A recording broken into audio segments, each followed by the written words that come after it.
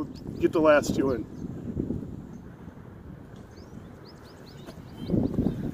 Go for it.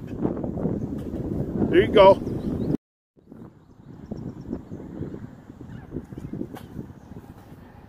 Go.